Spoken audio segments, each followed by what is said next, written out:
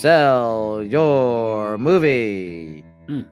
Right? That's something we want to do. But, you know, right now it's not even necessarily selling your movie because what we just said, you're going to be responsible for it anyway. And they're really more than likely, depending on the level, you're probably going to do more of a, a license uh, where you're licensing it to varying things and you're doing split markets and you're the distributor managing it. Uh, there are a lot of ways to do this. Look at a festival or film market, you can sell it. Uh, or, by the way, a lot of the ways that I have been selling films for now, I guess over 20 years, uh, is by contacting people straight up, right? Send them an email, have a friend, contact them, send them a screener. Uh, it's simple sales. Uh, submit online uh, send them an email. The best way to identify the and, and you gotta be like uh, Bill, like the Bill who wrote the Alcohol Anonymous. He was a salesman and he was also a market research guy. So he got on the road and he went out and he researched all these companies and then came back and gave reports to for the stock market to be able to invest in them. In that same way, you, you need to identify the companies that are going to distribute your type of film. Not everybody distributes horror movies. Not everybody distributes documentaries, and you may not want them so it, you know, just because it's a club doesn't mean I need want them and what they want me to join doesn't mean I want to join it as a member. Uh, there's right. no point in wasting their time and yours. Uh, you can get contact information from AFM, IMDb, and websites like Dear Producer, which is one of my favorite. The other option, of course, is self distribution. You can four wall in a theater uh, and then go through Film Hub or consider a smaller boutique distributors who are more likely to take you know, just about, you know, if it's made of a certain quality, they'll take it, like our friends over at Indie Rights. Uh, so, bottom line, nobody really knows what is going to do well day to day because the audience tastes are changing moment to moment. You got to trust your gut and leave the results up to God or your higher power. Jason? Yeah. Pray, babe. Pray. Yeah, no. Hey, pray. pray, pray for me. Got to pray just to make it today. Oh wow, man, dated us on that one. Got the MC Hammer going. Yeah. no, um, where are my where are my pants here? Okay, anyway. yeah, I think I think with uh, distribution, one general, and again, I have a whole playlist. I've done probably 50 videos on distribution. Check that out. But um, I think a good general rule of thumb, something to keep in mind, is to it's not a one size fits all solution like any of these places. Like it you have to take distribution on a project to project basis. So like i get questions all the time on you know comments on this channel or on facebook like uh, what's the best distributor? You know i'm like well what's the movie? You know because you know depending on your movie and your specific movie the best distributor for it might be this company that everybody says is horrible you know, but they're really good with that particular type of movie. And you'll get filmmakers that maybe, you know, they went with a distributor that wasn't right for their particular movie. And then that filmmaker will just, you know, bad, oh, that distributor's awful. They're awful. The distributor just couldn't do anything with that particular project. Just, most distributors are specific in what they're looking for, what they take, and what they can do well with. There are distributors out there that are kind of you know general they you know they blast out libraries and and, and they can do okay you know but depending on your your project. Well but, the marketplace is geared towards you know i mean the reason you know we have like something like amazon who's pulling back and pulling back and pulling back uh, to the point where yes you can get things on amazon but they will be they will be through a distributor you know and and just like pretty much any other uh, any other platform because that you know, or a platform worth using, like now World One TV. I see the other side of that. I understand why filmmakers don't necessarily want to put on it because there's so many of these and they're not necessarily paying. And the, but from my perspective, it's like, why does it hurt to have it on another platform?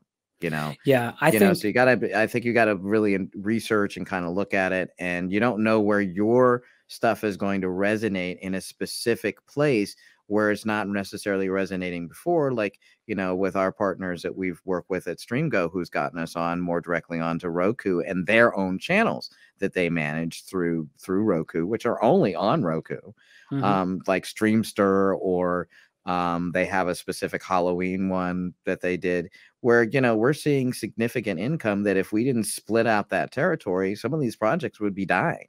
Yeah. Um, so you're looking for uh, potential. You're looking for a distributor who has vision. You're looking for a distributor who is offering something and is continuing to grow or at least has a niche that they've identified that they can show you some numbers on. If they're not going to get, if they can't tell you what they've done with something, uh, you know, then you're more than likely you may, you know, going to be looking for somebody else. Or if you can't get in contact, I mean, certain simple things are just vetting, you know, the thing. Check out, call up three people who have films with them.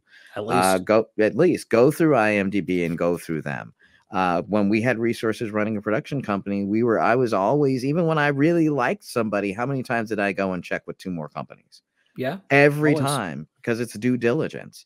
Yeah, uh, never, you know, never. It's like uh, they say, never take your first offer. Never, you know, or you might, you might eventually take that first offer, but mm-hmm. you're going to vet other. You're going to get other offers, not just you, take the first one as it comes in. Absolutely. You got to know what the market is going to absolutely bear for you and what your opportunities are, especially when you've put all of this time and steps into putting this project together. As we described, it's your baby, it's your project, it's something that a lot of people are invested in. How are you just going to now turn it over to somebody and not monitor it, not keep track of it, not know where it is?